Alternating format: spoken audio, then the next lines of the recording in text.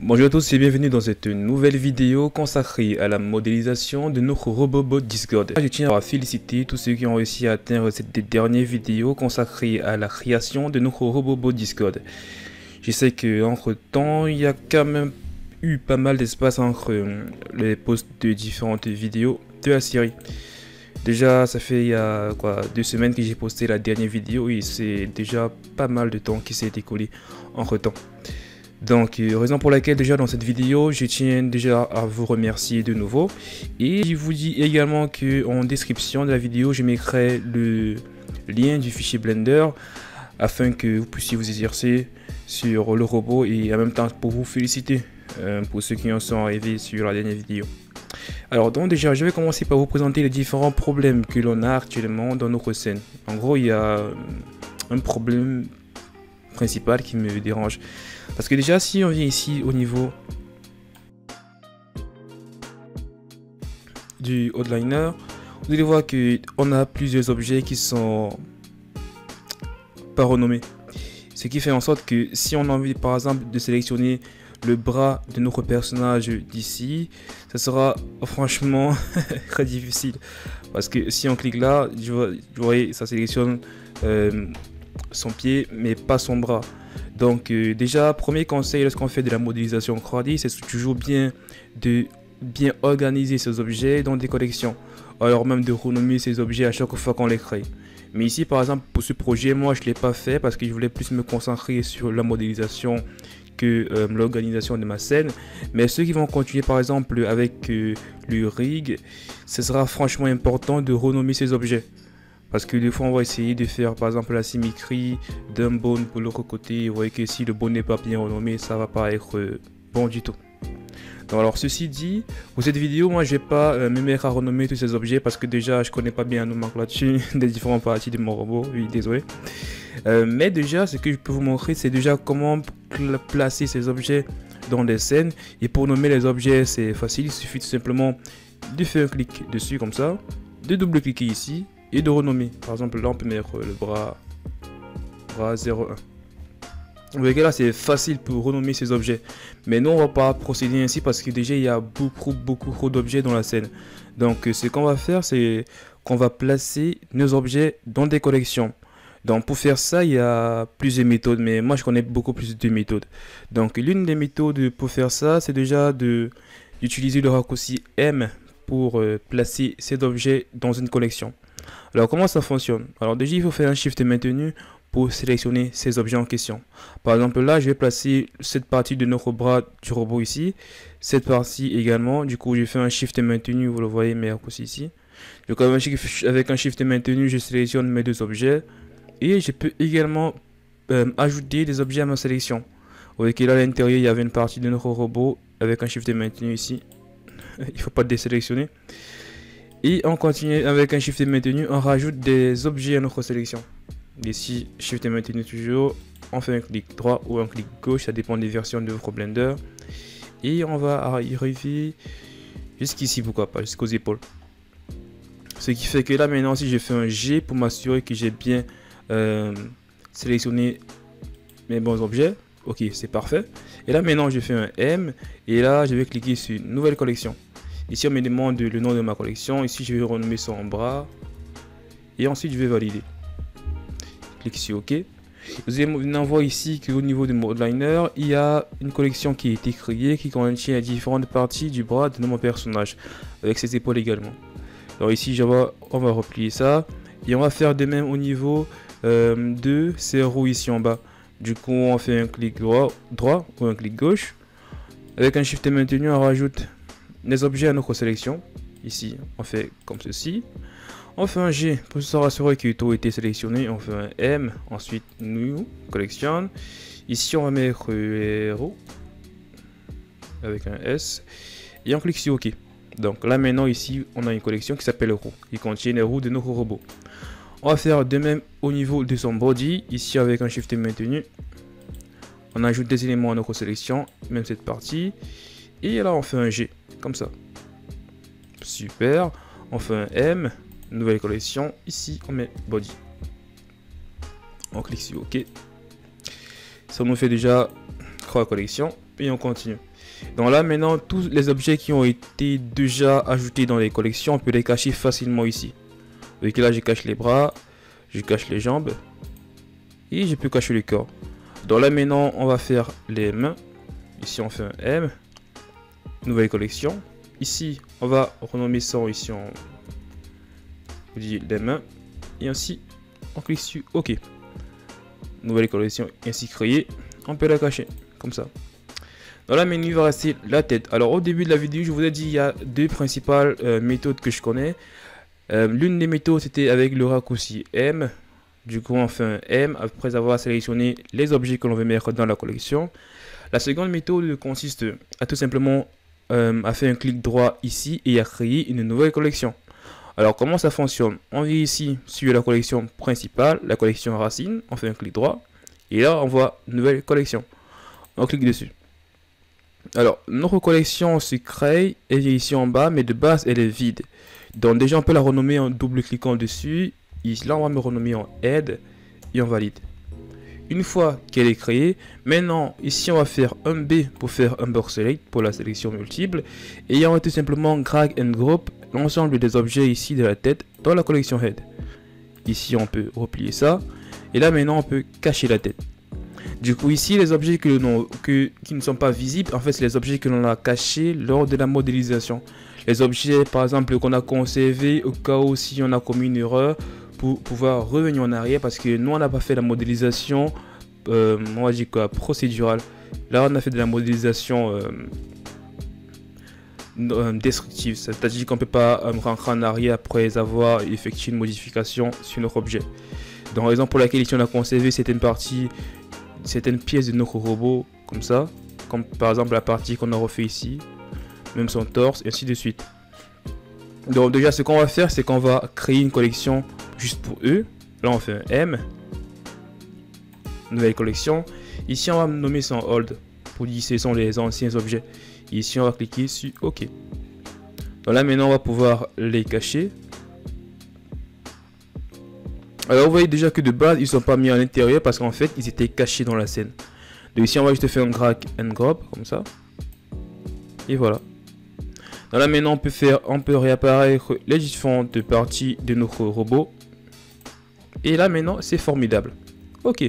Donc là maintenant on peut continuer avec le shading de notre robot. Alors déjà notre personnage, on a fini de le modéliser, c'est parfait.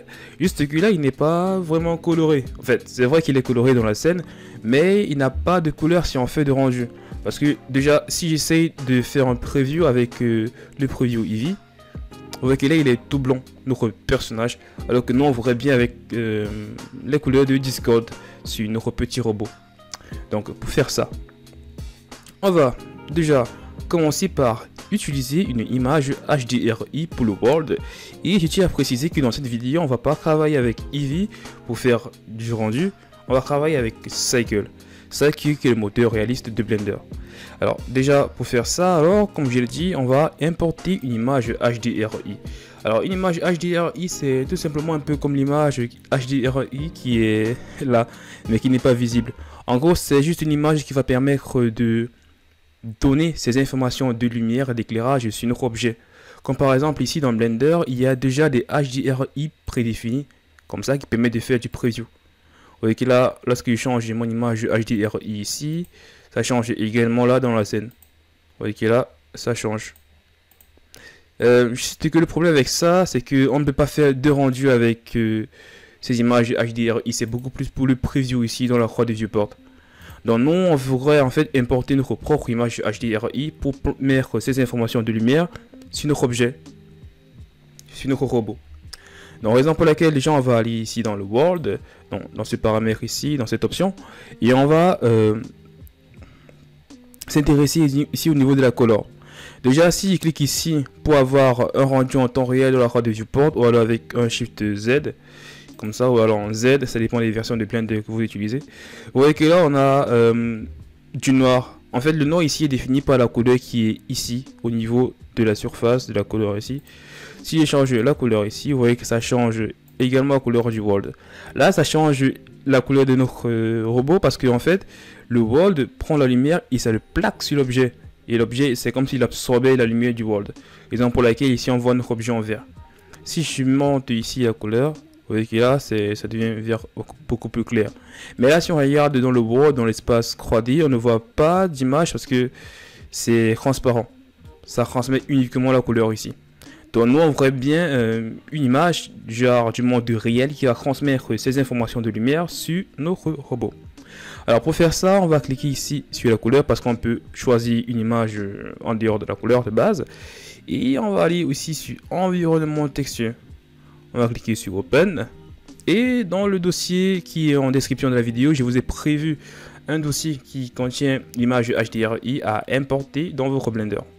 Du coup là, vous allez tout simplement double-cliquer dessus et ça va importer l'image HDRI. Déjà là, on voit une grosse différence par rapport à l'image HDRI de Blender qui est bien mais pas super par rapport à celle-ci parce que c'est mon image HDRI préférée. Donc là, normalement, lorsque vous allez importer votre image HDRI, ça ne sera pas comme le mien, comme ça, ça ne sera pas image transparent. Mais il va falloir maintenant configurer celui-là afin qu'on ne puisse pas voir les images qui sont sur, la HDRI. Là, c'est un tout petit peu bizarre comme explication, mais vous allez voir que c'est beaucoup plus simple. Alors, vous allez vous rendre ici, dans les paramètres du moteur de rendu. Et vous allez descendre ici en bas, au niveau de film. Je vois vous voyez que chez moi ici c'est coché parce que j'avais déjà fait un test avant de faire la vidéo. Là chez vous normalement c'est décoché. Et là vous voyez que lorsqu'on décoche et qu'on regarde un tout petit peu au niveau du board, il y a euh, l'environnement en fait, l'environnement en question qui est utilisé pour transmettre ces informations de lumière sur notre robot. Donc euh, déjà, puisque nous on voudrait pas forcément voir les images de cailloux au niveau de notre rendu, on va cliquer ici sur transparent afin que le world soit transparent. Et comme ça, on pourra faire un post-traitement sur notre image, par exemple sur Photoshop, pour rajouter une autre image de fond, par exemple. Ou alors, même dans Blender directement, on pourrait rajouter un plane pour le fond, avec une autre couleur, par exemple. Alors déjà, comme je l'ai dit, il faut cliquer sur transparent pour que le world soit transparent. Et là maintenant, on va continuer dans le shading. Allez, on clique ici pour mettre la couleur c'est notre petit robot. On va cliquer ici pour avoir un rendu en temps réel avec Cycle dans la croix du support. Ok, super. Donc là maintenant, on va commencer par mettre le shading de base de notre robot. Alors déjà, nous, ce qu'on bien, on aimerait bien faire, c'est de mettre la couleur violette sur notre robot, mais avec un tout petit peu de style. Genre du style, c'est genre euh, qui va donner un aspect un tout petit peu plus réaliste à notre petit robot Discord. Alors pour ça, déjà, on va cliquer, cliquer ici là sur New pour créer un nouveau matériel. Et de base, ça va toujours être le principal BSDF qui va apparaître ici, parce que c'est le meilleur. Il y a plusieurs paramètres qu'on peut utiliser pour faire... Euh, un bon shader avec. Donc, donc puisqu'il est là, on va l'utiliser. Dans la première étape ici qu'on va faire, c'est chercher à mettre ici des bordures blanches au niveau des, des arrêts ici de notre robot. Alors comment faire ça? La première étape c'est que on va utiliser un autre qui s'appelle Bevel. Parce que déjà, puisqu'on veut mettre des bordures sur notre objet ici, lorsqu'on dit bordure, ça, on pense beaucoup plus au bevel, bevel, bordure, array et tout. Donc ici, on part dans add, on part dans input, et là, on va prendre ici bevel. On le place ici. Donc là, maintenant, si on place, euh, si on essaye de placer, c'est pas euh, la normale ici avec la base color ici, ça va donner un truc super bizarre parce qu'en fait, la normale et la base color sont pas compatibles. Vous voyez déjà qu'il en quitte du violet au jaune. C'est pas tout à fait compatible. Donc là, euh, pour faire ça, on aura besoin déjà de deux inputs. Le premier, ce sera ici le bevel. Le second, ce sera euh, le, le node géométrie. Alors déjà ici, on va regarder. Le voici, géométrie. Là. Ok, ils sont là. Donc là maintenant on aimerait bien les convertir en quelque chose qui va pouvoir entrer au niveau de la euh, base color ici. Donc déjà là je viens de dire le mot converti, c'est déjà un mot clé. Converti euh, les deux inputs ici qui sont en fait en quelque sorte des normales pour qu'ils puissent entrer dans la base color. Déjà pour ça on va donc cliquer ici, on va aller dans les converteurs et il y a un converteur qui s'appelle le vector mat. On va l'importer et on va le placer ici. Le vecteur mat, comme par hasard, il a deux entrées vecteurs. Du coup, on va placer ça là. Et ici, on va prendre les normales de notre objet qu'on va placer ici. Ok, super. Dans la maintenant aussi de nouveau on essaye de placer ça ici, ça ne donne pas forcément ce que l'on veut parce qu'ici il dit ils sont en vecteur et le vecteur n'est pas compatible avec la base color. Donc il nous faut en gros notre node pour placer là devant. Alors cette notre node ça va être toujours notre convecteur mais cette fois-ci ici ça va être map range qui est un tout petit peu comme la color ramp. Mais lui ici on je peux juste le configurer avec une couleur noire et blanche. Vous allez voir un tout petit peu comment ça, ça ressemble. Alors ici, on va aller ici, map range, on le place ici. Et ici, on va connecter ici avec la valeur ici. Et on va connecter la sortie ici avec la base color là. Ok, super. Alors déjà là, on a un résultat qui est tout petit peu différent. Ici, on va faire un slash pour placer notre objet au premier plan. Et on va regarder un tout petit peu. Alors déjà au niveau des configurations, au niveau ici de notre vecteur mat, on va modifier euh, le type de fusion du node, de node ici. On va changer le add afin de travailler avec le dot product. le dot product, il se cache où le petit, il se cache où Il le voici. Super. On va maintenant les reconnecter ici parce que lorsqu'on modifie un paramètre ici, ça déconnecte automatiquement le node. Et lui ici, il vient ici. Alors ici en bas, le Tomax, on va mettre à 0. Et la valeur ici, Tomine, on va augmenter ça petit à petit. Et vous voyez que au niveau des bordures de notre objet ici, il y a du blanc qui est ressorti. Le blanc qui est dû ici en map range. Donc là, on va mettre la valeur 30. Et au niveau ici de notre simplesse, on va mettre la valeur 8 pour avoir beaucoup plus de résolution au niveau des bordures ici. On peut également un tout petit peu augmenter ici le radius qui va permettre d'augmenter la valeur du bevel au niveau des arrêts de notre objet ici. Ok? Ici on peut également mettre à 16 pour que ce soit beaucoup plus quali. Et c'est bon. Ok, en gros, ce qu'on vient en gros d'ici de créer, c'est en quelque sorte un facteur, puisque là on a du noyau de blanc, c'est un peu en quelque sorte du alpha. Donc nous, puisqu'on a ça, on peut, c'est qu'on peut utiliser, parce qu'on peut utiliser et on peut réellement l'utiliser. Ici un mix HMB pour euh, mélanger deux couleurs en utilisant ce, cette sortie comme le facteur ici. Ici on part dans add, ici on part dans ici on part dans les couleurs parce que c'est une couleur qu'on va mélanger. Mix RGB, on met ici, pap, on la fusionne. On mettre ici là au niveau du facteur et là maintenant vous allez voir que si je mets ici en noir ça redevient comme avant en gros, c'est pour dire ici, le noir va correspondre à la couleur ici, et le blanc va correspondre à la couleur des bordures. Super. Donc alors, nous, on va modifier la couleur ici, afin de mettre une couleur violette, comme pour Discord, et on va un tout petit peu diminuer ici l'opacité, comme ça. Super. Ici, on va mettre une couleur beaucoup plus blanche, raison pour laquelle on va augmenter le forte ici. Et voilà, on a quelque chose qui est déjà plutôt pas mal. On va un tout petit peu ici augmenter encore le bevel. Et c'est bon. Ici, on va un tout petit peu augmenter la lumière. Mais là, c'est juste beaucoup plus les détails. Ok, une fois que cela est fait, on va un tout petit peu jouer ici avec la roughness pour que ça soit un tout petit peu lisse et cool à toucher. Moi, si on pouvait le toucher parce que c'est virtuel ça. Ok, donc euh, là déjà c'est plutôt bon pour euh, la surface de notre robot bot Discord. Du coup là on fait un slash pour faire revenir les autres éléments de la scène. Et ce qu'on peut faire déjà, c'est ajouter ce matériel sur les autres parties de notre robot. Donc ici déjà, j'ai encore un tout petit peu problème, problème avec ça. Je vais diminuer encore un peu ici. Et là, c'est plutôt pas mal. Juste que je trouve que c'est un tout petit peu grand quand même. Donc du coup ici on va euh, diminuer encore un peu ici pour que ce soit un tout petit peu, euh, on va dire quoi, nice. On met à 20 comme ça, ça c'est beaucoup plus, beaucoup plus simple.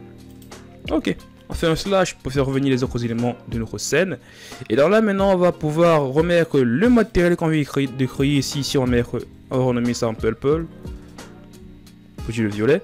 Et on va pouvoir remettre ce même matériel sur les autres parties de notre robot. Alors on va faire ça assez rapidement. On sélectionne cette partie, on part ici, tac. On sélectionne cette partie, on part ici, tac. Alors déjà, j'ai fait ici un Shift Z pour que ça puisse aller assez rapidement. Et ici, on va passer en preview. Comme ça, ça sera également beaucoup plus rapide. Alors déjà, je tiens à préciser ici que la manipulation qu'on a fait ici en bas, c'est valide, c'est valide uniquement avec euh, Cycle, c'est pas valide avec euh, Eevee. Alors, déjà là, je vois que nous sommes à 20 minutes de vidéo. Je pense que je vais couper cette vidéo en deux parties. Donc, ça va être euh, la première partie ici. Ensuite, on va continuer avec la deuxième partie pour le rendu après l'éclairage et tout.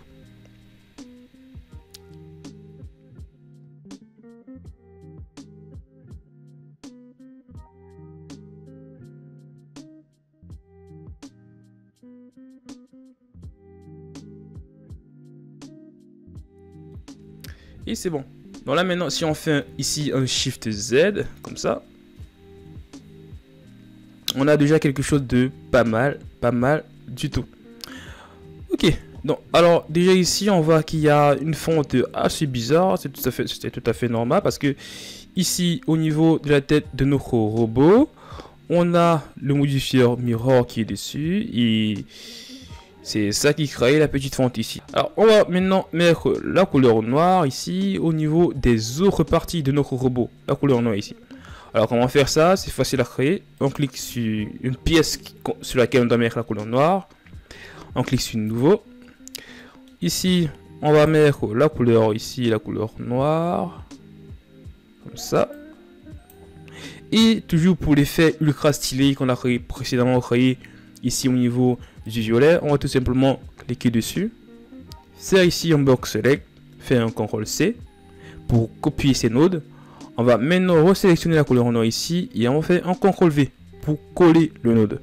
Comme ça là maintenant c'est beaucoup plus, c'est deux nodes différents, deux shaders différents. Ici on va mettre la couleur noire, on valide et on va connecter la sortie ici avec l'encre color ici. On va modifier la couleur euh, violette ici pour mettre une couleur noire. Et voilà. Ici, au niveau de la couleur blanche, on va mettre une couleur un tout petit peu violette, comme ça. Ultra stylé, c'est cool ça. Et ce qu'on peut également faire, c'est modifier ici le radius pour mettre par exemple juste à point. Nice. Donc on va, on va répéter la même opération pour les autres pièces. Ici, on met la couleur noire.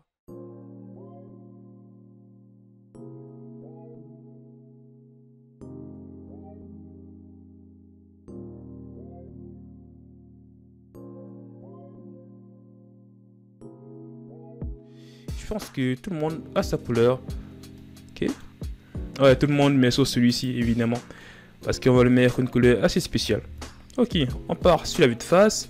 Et là, on va maintenant faire ici un Shift Z pour avoir ici de nouveau un preview. Ok. Super. Donc là, maintenant, on va s'intéresser au niveau du centre de son ventre, ici, et de ses yeux. Donc déjà, pour corriger ce petit problème au niveau de sa tête, on va aller ici au niveau, déjà on va aller dans le layout, désolé. Shift Z, tac, vue de face. Alors ici on va déjà aller en Edit Mode, aller en wireframe, comme ça avec un Z. On va supprimer une partie de la tête de notre robot ici avec un box select. Ici on fait un X, delete vertice, comme ça.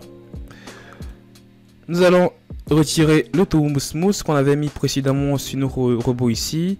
Donc déjà l'auto smooth, on va le retirer ici. On, décoche ici. Et là maintenant on voit le problème. En gros le problème était dû qu'en fait ici lorsqu'on avait mis le modifier mirror, il y avait des faces. Vous voyez qu'il y a des faces ici. Et c'est ça qui causait le problème. Donc pour résoudre ça, on va déjà faire un CTRL TAB pour aller en mode de sélection de face. Ou alors on peut toujours rester en mode de sélection de vertice et aller sur la face avec un 1. Là, on va faire un Z pour le wireframe. Et on va faire ici un B pour le box select. Comme ça. Comme ça, une fois que c'est sélectionné, on peut faire un slash pour s'assurer que c'est bien les faces qui sont ici qui ont été sélectionnées. On va faire un X, delete face. Comme ça, une fois qu'il n'y a plus les faces ici, on va pouvoir de nouveau faire un slash, faire un tab pour aller en objet mode et maintenant ici rajouter le modifier mirror ici. On va le placer au-dessus de la subdivision de surface. Et là maintenant en edit mode on pourra rajouter des edges de maintien comme ça avec des CTRL R, ici des CTRL R, ici des CTRL R, ici un autre CTRL R. Ici on va mettre un autre, ici au milieu on met un autre. Super. Voilà maintenant c'est beaucoup plus nice et ça ressemble beaucoup plus au rendu que je vous ai montré dans la première vidéo. Ok? Ici, vous, pourrez bien mettre à 2, ça ne dérange pas. Et voilà. Donc là maintenant, si on fait un Shift Z, on a quelque chose de beaucoup plus nice. Et si je rajoute ici le shader, le matériel purple, là maintenant on a des bordures ici qui ont été mis avec euh, notre, euh, notre shader. Ok, super. Donc là maintenant on va passer ici au cœur et ses yeux. Alors, ok. Pour faire ça, Déjà au niveau de son cœur, moi j'ai décidé ici de mettre du vert et à l'intérieur un matériel d'émission. Pour faire ça, déjà on va aller dans le shading ici. On va commencer par ses yeux. On va cliquer sur nouveau ici. Comme d'habitude, c'est le principal BSF qui s'affiche. Normal. Donc là, pour ça, pour faire du vert, on va utiliser déjà deux shaders de base. Ici, on parle en shader. Et on va prendre le shader glace. Pour de la glace. Et de la transparence shader ici, transparent BSGF. On va chercher à mélanger les deux avec un mix shader, ici dans shader, ici. On va prendre le mix shader et on va placer ça ici en haut, comme ça. Je tiens à préciser que le glace est au-dessus, ensuite on a le transparent en dessous. Ensuite, au niveau du fauteuil ici, pour les paramètres de chemin de lumière, on va aller ici dans les inputs. Ici, on va prendre light path. On place déjà ça ici, comme ça. On va pouvoir fusionner les, les propriétés du chemin de lumière les de, du converteur mat. Du coup, ici, converteur. On prend le converteur. Le converteur mat. Je cherchais déjà dans les vecteurs. Ok, super. Donc là, on va connecter ici. Euh, le shadow ray comme ça et le diffuserai que on connecte par la suite au facteur du mix shader et que l'on va connecter ici à la surface on supprime ça ici on fait un box select avec un B comme ça box select et on fait un déplacement comme ça super donc là on vient de créer notre matériel glace donc première étape on va importer ici une glace et un transparent node Ensuite, on va prendre un mix shader pour les fusionner à deux. On met le glace en haut et le transparent en bas. Une fois que c'est fait, on va maintenant paramétrer le fauteuil ici. Pour le paramétrer, on va utiliser un chemin de lumière que l'on va fusionner deux éléments, deux propriétés, le shader et le diffuser, que l'on va connecter avec ici un converteur mat. Du coup ici on met plus de valeurs, peu importe ici l'ordre, ça importe peu, et ensuite on met la sortie au niveau de la surface. Là, si je fais un slash et que je fais un shift Z, vous allez voir que là, on a un matériel glace qui est ultra nice. Super. Donc là, maintenant, on va pouvoir mettre le l'émission à l'intérieur. Donc pour faire ça, on fait juste un tab pour Edit Mode, on fait un Shift D comme ça, on peut envoyer frame et on fait un S qui soit à l'intérieur. Ok? On va renommer ici notre matériel en glace parce qu'on vient de créer une glace, évidemment. Et on va maintenant déjà faire un P pour faire ici euh, by pour créer un objet séparé de la sélection précédente. Sur l'objet qui est à l'intérieur, on va déjà supprimer ce matériel glace comme ça et on va créer un nouveau matériel. Alors pour la couleur ici, on peut pour la couleur ici, on, va pas en travailler avec le principal BSDF, mais on va travailler juste avec euh, l'émission. Donc du coup, pour faire simple, on peut aller ici au niveau des matériaux. Au niveau de la surface, on veut pas le principal BSDF, mais on veut plutôt l'émission. Donc du coup, ici, on va regarder l'émission. Je ne vois pas. Principal. Il se cache. Ouais, le voici ici en haut. Émission. Là, maintenant, il est là. Si je fais un Shift Z comme ça, pour voir, vous allez voir que là, maintenant, ici à l'intérieur, on a de l'émission. Et pour faire pour remonter la puissance ici à l'intérieur, on peut mettre ici à 20. Là, c'est beaucoup plus nice. En edit mode, on pourra faire ici un scale. Petit scale comme ça. Et voilà, super. Donc là maintenant, ce qu'on vient de créer ici, on va pouvoir l'utiliser au niveau du centre de, de son ventre. Donc là, on va faire un slash comme ça. Ok. On va sélectionner ici. On va faire, on fait un clic ici. On met la glace. On fait un Shift Z. On part dans le layout. Alors déjà ici, si on fait un J, vous voyez qu'à l'intérieur, il n'y a rien. Donc nous, on aimerait, bien mettre de à l'intérieur, mais à partir de ce bloc. Donc on fait un tab pour Edit Mode. On fait comme précédemment, on fait un Shift D. On duplique notre objet en Edit Mode. On fait un Z pour voir travers notre objet. Ici, on fait un Scale, comme ça à l'intérieur. Et on fait un P by the part pour créer un objet séparé à partir de la sélection. Super. Donc là, maintenant, on repart en objet mode. On resélectionne notre objet ici. Et on va modifier le matériel. Donc ici, on va supprimer ça. On clique ici. Et on, clique, on met ici le matériel d'émission. Et ici, on va mettre light. J'ai acheté. Light. Et super. Là maintenant, normalement on a fini avec le shading. On a fait la correction au niveau de sa tête ici qui avait un problème. Et je pense que là maintenant on peut passer au rendu. Parce que c'est la partie la plus importante. Je viens bien partager mon travail que j'ai réalisé sur Blender avec mes amis. Mais je ne sais pas comment faire de rendu avec Blender. Dans cette partie, on va apprendre à faire le rendu. Donc en gros, on va apprendre à porter la caméra, mettre la lumière. La lumière, oui, la lumière. Mais on a déjà mis lumière dans le fond avec la HDRI. Et je pense que normalement là c'est tout. Vous êtes prêts? Allons-y. Donc déjà on va faire un Shift Z pour euh, économiser la puissance de notre PC. On va faire un Shift C pour amener le curseur à l'origine de la scène. Et on va faire un Shift A pour importer la caméra.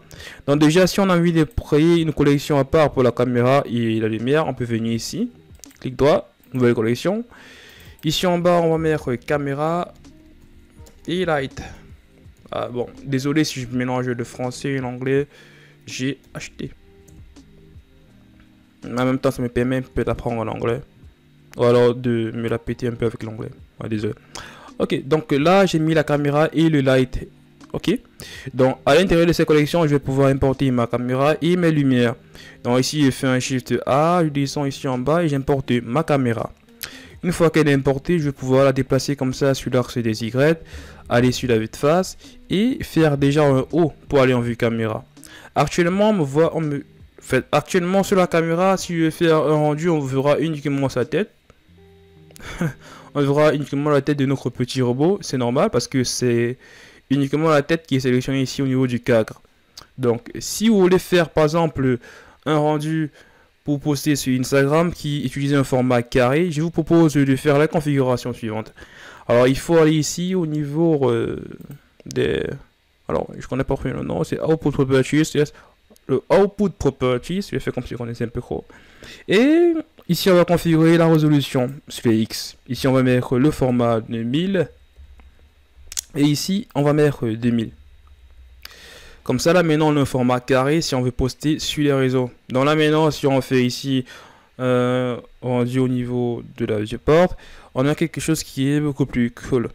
Donc là, maintenant, on aimerait bien avoir un rendu qui va prendre tous nos robots. Pas seulement la tête, mais l'ensemble de nos robots. Et on aimerait bien avoir un rendu qui n'est pas perspective comme ça. Là, c'est super cool en perspective, je ne mens pas. Mais en général, c'est beaucoup plus un rendu orthographique qu'on va faire. Donc pour avoir un rendu en orthographique, il faut aller déjà sur la caméra ici. Donc en gros, on sélectionne la caméra, on part sur les paramètres de la caméra ici, et on va s'intéresser ici au type. Donc là, de base, c'est perspective, mais nous, on va travailler avec le orthographique. Ok? Et là, maintenant, on va pouvoir gérer la taille de la caméra. Ici, on peut faire un Shift Z déjà, comme ça, ça sera beaucoup plus rapide on descend. Ici, on peut déplacer la caméra sur l'axe des Z parce que c'est maintenant en 2D. ici, on va faire un scale comme ça. Et on va déplacer sur l'axe des Z. On va maintenant pouvoir ici faire un zoom avec notre souris. Super. Et là, si on fait de nouveau un Shift Z, on a notre robot qui est bel et bien visible. On va tout simplement encore un tout petit peu faire monter la caméra. Ici, comme ça avec un shift maintenu. Super, super cool. Bravo.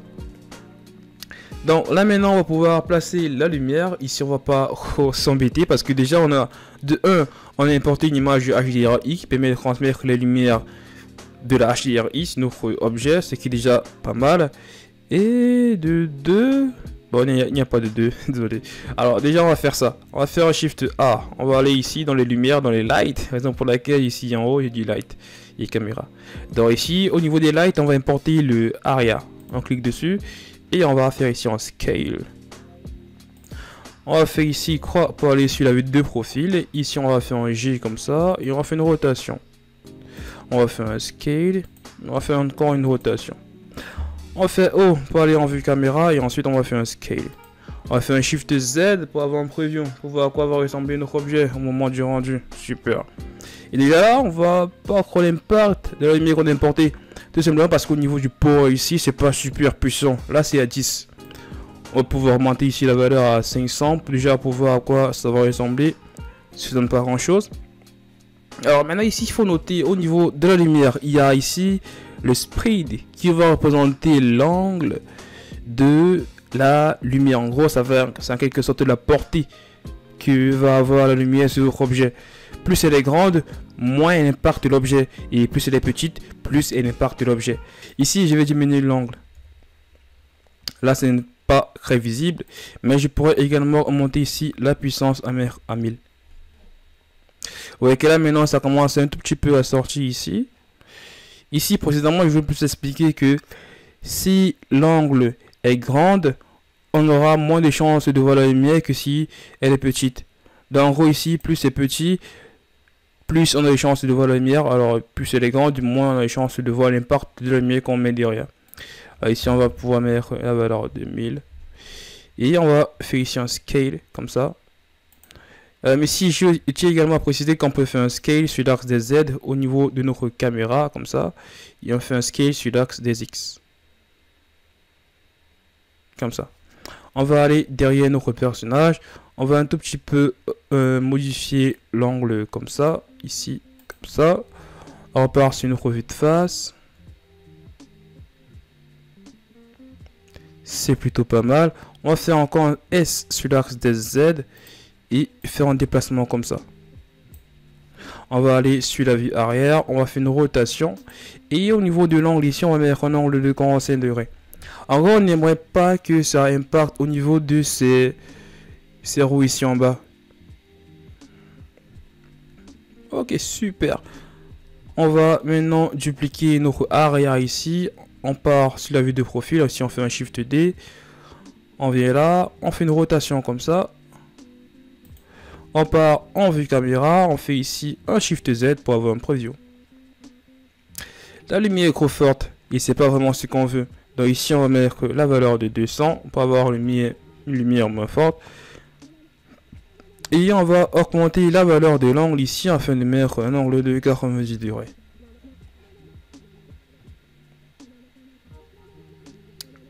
Et voilà.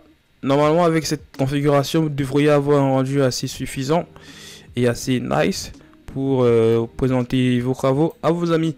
Et je tenais également à vous rappeler ou alors à préciser euh, qu'au niveau du hall ici, il faut les cacher euh, pour ne pas que ça s'affiche au niveau au moment du rendu. Comme ça là maintenant, puisqu'ils sont cachés, lorsqu'on va faire le rendu, ça va être uniquement les éléments qui sont visibles ici dans la scène.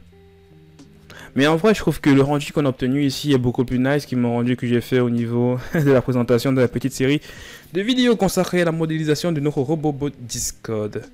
Mais en gros, c'est euh, grâce à vous parce que j'ai fait la vidéo. Bref, on a fait la vidéo ensemble et on a progressé ensemble. Donc, euh, si le rendu à la fin est nice, c'est pas forcément grâce à moi parce que mon rendu était moins cool que ça. Mais bon, on est arrivé à la fin de cette série de vidéos consacrée à la modélisation de notre robot Discord. En gros, j'ai pas vraiment envie d'arrêter la vidéo, mais je dois le faire parce que c'est la fin de la série. Il faut commencer une nouvelle série de vidéos, sinon sur la chaîne, ce sera assez naze. Alors, euh, puisque c'est la fin, merci de m'avoir suivi. Surtout, n'oubliez pas de lâcher un gros pouce bleu si vous avez aimé cette série de vidéos, de vous abonner à la chaîne et de rejoindre le Discord afin de partager vos travaux. Et n'oubliez pas, le fichier Blender sera en description de la vidéo.